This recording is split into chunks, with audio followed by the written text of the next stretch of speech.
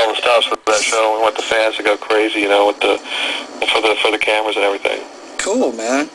Right on. And you guys got you got a show coming up at State Theater that you wanted to talk about, correct? Is that the St. Pete? Yeah, well, we have the U.S. tour coming up um, in October, and I just got some of the pre-sale numbers, and it's selling really good. Some of the shows are looking getting close to sold out, so that's very encouraging. And um, I mean, the, the the whole thing in the U.S. has just gotten bigger and bigger, and you know, the fan base has just grown, and the fans are you know, right up there with the Europeans and everybody else in, in South America in terms of the crowd response.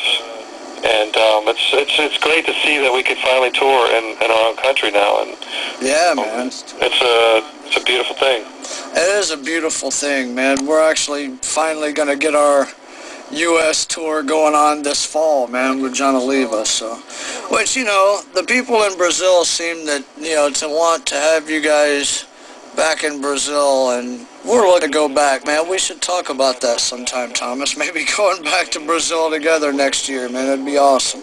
That'd be great. I mean, like right now, we're talking about going back um, maybe in the beginning of January or February. So, right on. If it happens? We're also planning a another return to Europe in March, which will include a, a full UK tour this time. Um, and we're going to do more shows in Spain, possibly another show in Bulgaria, maybe some of the Eastern European countries. So right on. Um, we're not slowing down at all. We're kind of just getting started. So it's uh, oh yeah, man. Busy time, but you know it's it's better to be busy than not be busy. You know. Oh, absolutely, dude. And you know this is what you know we've been doing this for all our lives. You know is to to get to the point to where you're in demand to where you can do all that shit, man. It's really cool, you know.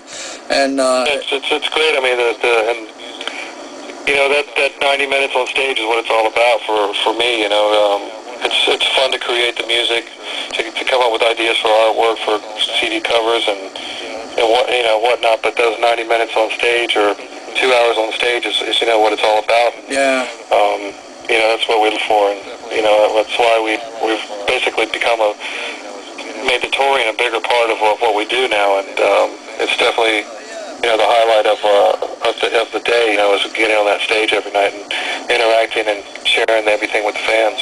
Hell yeah, man. You know, uh, I gotta, we gotta talk about Oliver for a second, man. yeah, Ollie. you know, Ollie. You know, yeah, playing, uh, you know, all the keyboards for you guys for how how long now? Fuck, like three, four years. Um, I think he, he started on, a, on with the Black Halo tour um, right on. As, as just a, like as a, a session guy, and you know, we just felt like he gelled perfectly with the band. Personally, as a musician, he was he was perfect. Um, you know, he brought another kind of dimension to the live show. Yeah. And um, so you know, we we asked him to join the band, and of course he's he was working with other bands, and he still is uh, uh, on some occasions. But son of a. You know, he's he's made Kamelot his priority, which is great. And, you know, I think it's just he's a perfect addition to the group, and um, you know, we just uh, we couldn't have found a better uh, keyboard player. Right on, yeah, dude. Uh, I met Oliver the first time I was uh, the first tour I did with Circle II Circle. Uh, we did with Blaze, and he was playing rhythm guitar and and keys for uh, for Blaze, and we needed a keyboard player, so we were like, hey, dude, you know, fuck it, you know, just play keys. And man, he is just the coolest dude, man. He is the coolest fucking cat to hang out with. And uh, you know, do me a favor. He's he's, uh, he's so quiet, you don't know he's in the room, but oh, know. his talent is. Um, he's one of the best keyboard players and one of the best guitar players that I know, and you know, he doesn't have to run around and talk about it. He just he, he when he plays, you can see that, you know, and that's a great. I think that's a great thing to, that he's very humble with uh, his talent, and um, you know, it's just uh, like you said. I mean, he's just a, a great person to hang out with, and on stage, you know. I was actually when we first did our first rehearsal, I was a little bit worried because I never saw him on stage before, and he was standing kind of still on the keyboards and playing and making sure everything was right. And then I thought, oh man, you know, live this guy's going to be kind of kind of lame, but you know, our first show, he was like head banging, spin, doing helicopter spins with his hair, and and I was just like, I had a big smile on my face the whole night, you know, thinking, wow, this is awesome, you know. Yeah, dude. When you talk to him again, please tell him that I say hello, man. It's it's been a long time since I've talked to him. Uh, man, I know you're hanging with the daughter and everything, Thomas. Man, um, let's see, you guys, uh, for those of you out there who do, does not know, uh, you can go to myspace.com forward slash Kamelot or Kamelot.com.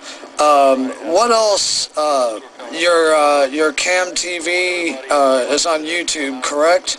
That's right, yeah, that's right. And we got the U.S. tour coming up in October. That's right. We want everybody in the U.S. to, to come out and support us, support all the metal bands that are touring so we can keep this thing growing here. And um, Absolutely.